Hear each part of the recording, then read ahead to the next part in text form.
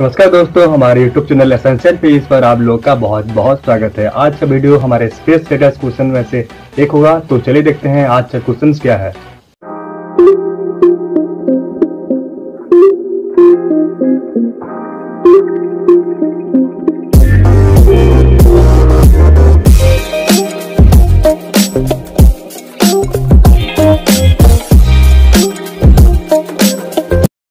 हमारा यूनिवर्स बहुत सारे मिस्ट्रियों से भरा हुआ है और हम सभी को दूसरों ग्रहों के बारे में जानने के लिए बहुत ज़्यादा एक्साइटेड रहते हैं, बहुत ज़्यादा इच्छुक रहते हैं। अगर हम बात करें इन यूनिवर्स के बहुत सारे मिस्ट्रियों के बारे में तो सबसे बड़ा मिस्ट्री आता है ब्लैक होल आज की वीडियो में हम बात करने वाले हैं सबसे प्राइमरीली फोकस करके ब्लैक होल के बारे में। तो चलिए देखते हैं आज के क्वेश्चन क्या क्या हो सकते हैं। आज की इसी वीडियो में हम बात करने वाले हैं थ्री बेसिक क्वेश्चन के ऊपर। सबसे पहला है what is a black hole secondly will see how the black hole form, and third and finally, we'll see what inside of a black hole. So, let's get started. Black hole बनता है बहुत सारे stars को मिला के, यानी कि ये स्टार्स हमारे, हम जो देखते हैं छोटे मोटे स्टार्स नहीं होते, यानी कि ये स्टार्स होते हैं सन से भी तीन गुना ज़्यादा बड़े। जब इतना बड़ा स्टार्स का फ्यूल जब ख़त्म होना शुरू हो जाता है, यानी कि उसका जो कोर्स होते हैं वो ठंडा होना शुरू हो जाते हैं तो इसका जो ग्रेविटेशनल फोर्स ऑफ़ अट्रैक्शन जो कि बहुत ही ज़्यादा पावरफुल होगा, वो स्ट्रिंग करना शुरू हो जाता है।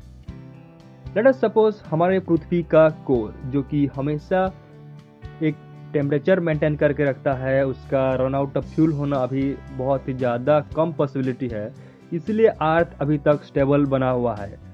और साइंटिस्ट के रिसर्च में ये पता चला है कि हमारे प्लानट्स अर्थ का भी जो कोर है, वो धीरे धीरे ठंडा होना शुरू हो चुका है। लेकिन घबराने की बात नहीं है, क्योंकि इसको पूरी तरह ठंडा होने के लिए हज़ारों करोड़ साल लगेंगे।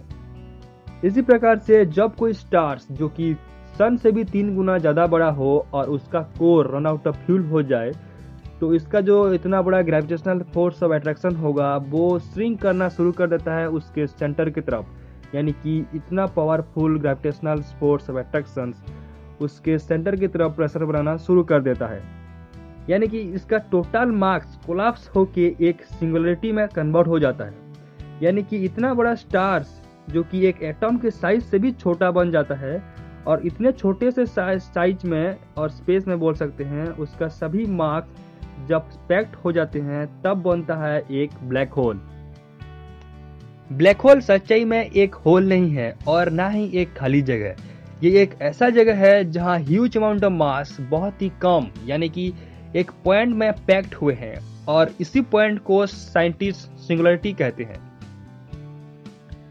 इतना छोटा सा पॉइंट मास ब्लैक होल को इतना स्ट्रांग बनाता है कि कोई भी चीज़ अगर ब्लैक होल में आ जाती है तो इससे बाहर नहीं निकल सकते। जैसे कि लाइट हम सभी को पता है कि लाइट की स्पीड सबसे तेज है। इसके बावजूद, अगर ये ब्लैक होल में आ गया, तब भी ये निकल नहीं सकता। का मतलब क्या हो सकता है? क्या ब्लैक होल एक वैक्यूम है? और क्या ये सभी चीज़ों को अट्रैक्ट करता है जो कि इसके आसपास हो? जी नहीं। ये सच है कि इसका जो स्ट्रॉन्ग ग्रेविटी है, वो सभी चीज़ों को खींचता है। लेकिन बाकी सभी ऑब्जेक्ट्स ब्लैक होल को ऑर्बिट करते हैं। जैसे सन को ऑर्बिट करता है अर्थ अब इतिहास में ब्लैक होल हमेशा से एक मोस्ट मिस्टीरियस ऑब्जेक्ट रहा है। आज के दिन में साइंटिस्ट बहुत ही गहराई से स्टडी करने में लगे हुए हैं। नासा जैसे ऑर्गेनाइजेशन बहुत ही सारे इंफॉर्मेशन कलेक्ट करने में लगे हुए हैं। फॉर एग्ज़ाम्पल 2019 में नासा का एक टीम ब्लैक होल का सबसे क्लोज फ़ोटो लाने में सक्षम हुए थे, जिसका साइज़ 4.5 पेटाबाइट्स था। उम्मीद करते हैं काफ़ी कुछ जानने को मिला होगा इसी वीडियो के दौरान। So thank you so much for watching this video have a nice day bye bye